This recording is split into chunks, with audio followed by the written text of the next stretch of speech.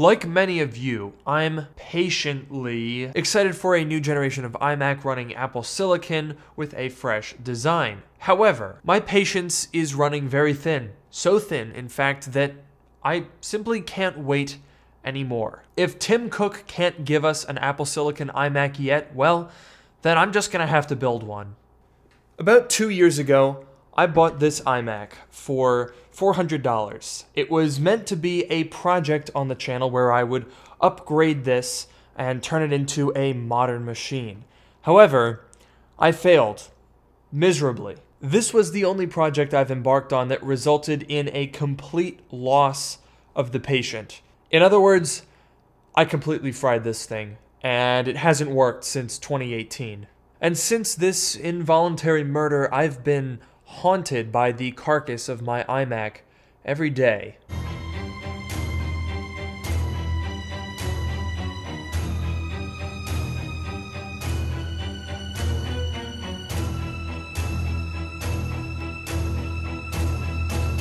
Well, today is my redemption because about a month ago I saw my big, bulky, dead iMac sitting around while I was using the Apple Silicon M1 Mac Mini, and I couldn't help but wonder why not combine them?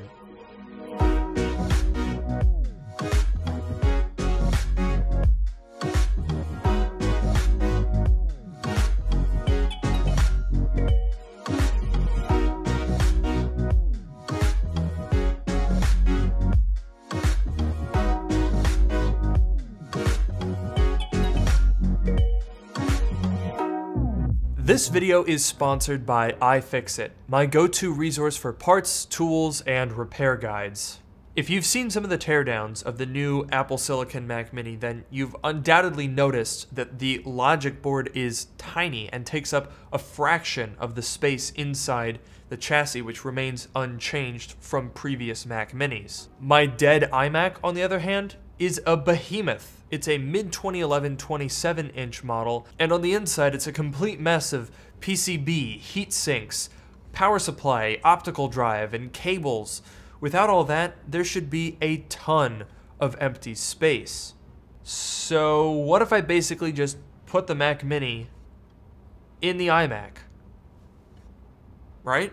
With this quandary, I decided the first thing I should do was gut the iMac. So last month, before I moved into the new studio, I brandished my iFixit toolkit and cracked it open. With the help of iFixit's teardown guides, I carefully removed the dangerous power supply, which has exposed traces on the back of it.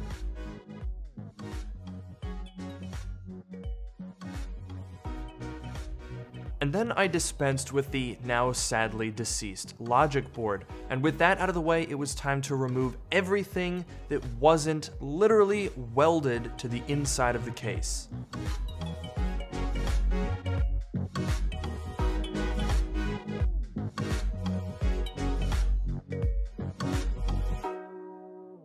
And then I realized I should probably come up with a plan for how to make this whole harebrained theory actually work. With about 5 minutes of googling, I found this, a converter board that lets you turn the display from your iMac into an HDMI monitor. If you want to do this for yourself, you just need to look up the display model used in your computer. Then you just look up the converter board for that display. The adapter itself is a pretty simple device. The main board converts the signal from DVI, HDMI, or DisplayPort inputs into the proprietary connector used by Apple in the display. There's also this satellite board that provides power to the backlight, and another little guy with some control buttons. Installation is easy. We just plug the adapter into the connectors on the LCD and cable manage this a little bit to attach it to the back of the display, which just required a little bit of double-sided and electrical tape. With this wired up, it's really very simple. We just run an HDMI cord and the power through the hole that used to be occupied by the iMac's power socket. And then we can put the screen back on. What we've now done is essentially build an Apple Cinema display. It works like any other HDMI monitor. You can plug it into the Mac Mini and get a signal full 1440p 60Hz. No target display mode, it's just a monitor. But it's not an iMac. And frankly, if I want to claim that I have built the world's first Apple Silicon iMac, then what I gotta do is put the Mac Mini inside the iMac, build an actual all-in-one computer. So with that, I went hunting for Mac Minis. Here we find the wild Mac Mini in its natural habitat, peacefully grazing on two sticks of RAM. But what's this in the distance? A tech YouTuber approaches, and he's got an iFixit toolkit. Oh, run, Mac Mini, run! Oh no, he's got him! Oh, it's terrible! The Mac Mini is really a very simple device. It's just a logic board with a fan stuck in a box. Oh, and there's also a 150 watt power supply that's hilariously overkill for a system that only consumes about 40 watts under full load. With the iFixit ProTech toolkit, I've got all the screwdriver bits that I need to take out the just over a dozen screws that hold this entire computer together. Now, it's at this point that I should tell you guys that my goal for this video was really twofold. Number one, to make the world's first Apple Silicon iMac, and Number two, to not destroy anything. Honestly, I don't have the tooling or the skill set to modify the case or manufacture a custom enclosure to allow me to mount the Mac Mini in a professional way. Basically, all I have is tape and a screwdriver. So I basically lucked out that there's a nifty standoff inside the iMac that lets us perfectly fit the Mac Mini inside with just one screw. It rests snugly against the other standoffs and the hinge mount for a rather perfect fit without having any direct PCB on metal contact. The only modification I had to do was remove a glued-on plastic standoff that was used for the old optical drive shroud. Some firm double-sided tape can hold the power supply in place, and, well, this is it.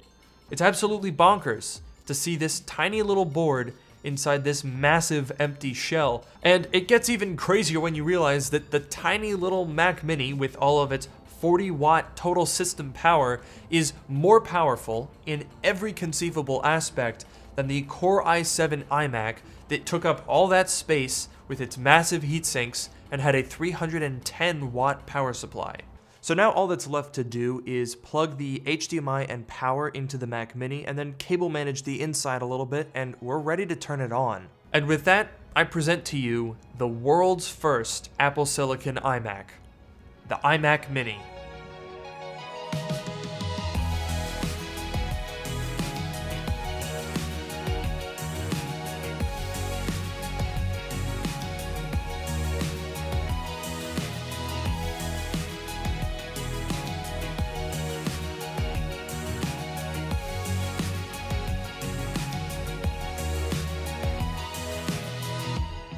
It is legitimately so surreal to see an M1 chip inside an iMac, and yet it feels strangely normal. I've had the iMac Mini up and running for a couple of days now, and I wrote most of the script for this video on it, and there were a few times where I legitimately forgot that this thing was basically a Frankenstein's monster combination of a 10 year old iMac and an M1 Mac Mini.